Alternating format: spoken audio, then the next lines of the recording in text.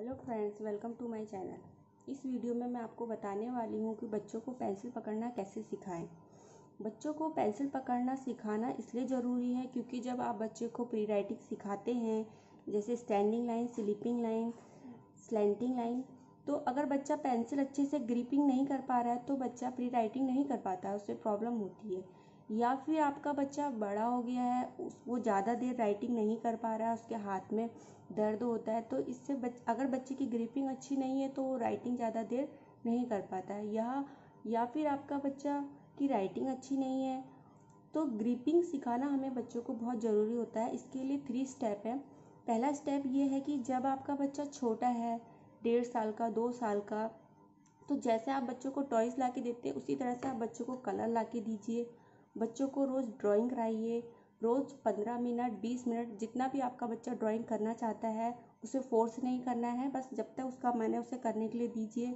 Starting में बच्चे कुछ इस तरह से ही चलाते हैं कलर को। बच्चा जैसे चलाए, आप बच्चे को चलाने दीजिए। आप उसको रोज़ प्रैक्टिस कराइए। धीरे धीरे एक महीने में, डेढ़ महीने, दो महीने में आपका बच्चा धीरे धीरे ग्रिपिंग सीख जाएगा। सेकेंड स्टेप ये है कि अगर आपके, आपका बच्चा बड़ा हो गया है, दो, तीन साल का हो गया, उसे अभी भी पेंसिल में ग्रिपिंग अच्छी नहीं है तो आप कैसे सिखाएँ? उसके लिए आप ये कर सकते हैं कि आप बच्चे को बताइए, जैसे कुछ इस तरह से आप टू फिंगर को फोल्ड कीजिए एंड इसे इस तरह से बनाइए और इसमें ये पेंसिल को इस तरह से फंसाइए। उसके बाद आप बच्चे को इस तरह से राइटिंग करना सिखाइए। धीरे धीरे बच्चा खुद फिंगर को एडजस्ट करके लिखना सीख जाता है और उसकी ग्रिपिंग अच्छी हो जाती है। आपको इसकी खूब सी प्रैक्टिस करानी पड़ेगी बच्चों को। बच्चा धीरे धीरे राइटिंग सीख जाएगा।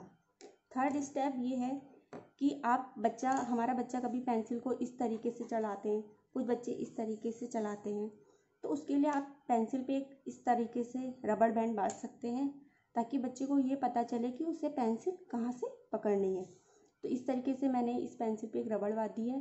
तो हम इस पेंसिल को, बच्चे को बताएँगे कि बच्चे को यहाँ से पकड़नी है और इस तरह से बच्चा पेंसिल चलाएगा। कुछ इस तरह से बच्चा पेंसिल तो धीरे धीरे बच्चे की ग्रिपिंग अच्छी हो जाएगी और बच्चा लिखना सीख जाएगा।